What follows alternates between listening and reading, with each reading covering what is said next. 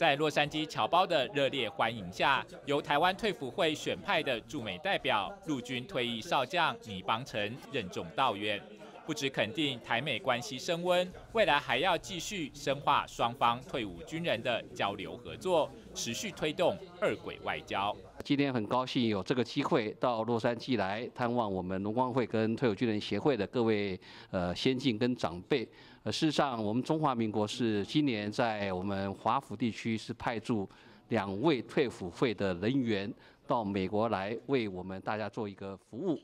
至于未来关键如何推动二轨外交，倪邦成也在会上重申，退辅会明定出的三阶段目标，分别是短期为辅导海外荣光会推动国民外交，中期加强与美国主流退伍军人协会的实质交流，以及长期建立与美国退伍军人事务部的官方联系管道。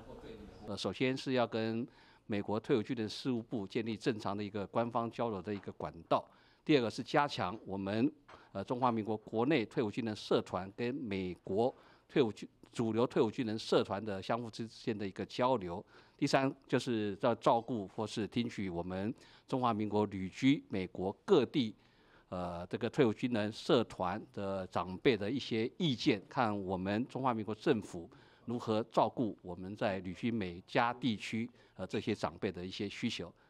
拥有两次驻外经验的陆军退役少将倪邦成，不止精通英语与西班牙语，且曾任驻瓜地马拉国防武官、驻军协组洛杉矶联络官、勤研中心主任、勤次是国际处长以及彭防部参谋长等职，未来将能发挥优异的外语能力及军事经验。东新闻团队洛杉矶报道。